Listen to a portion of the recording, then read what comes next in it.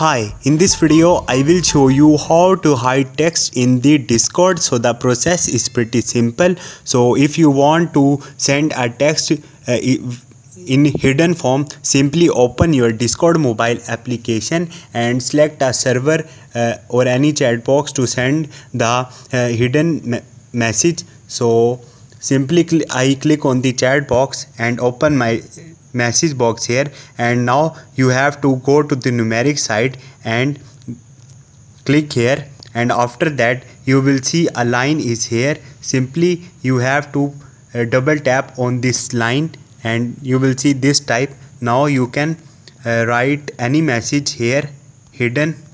And then again go to the numeric side and place the lines again. And now send this.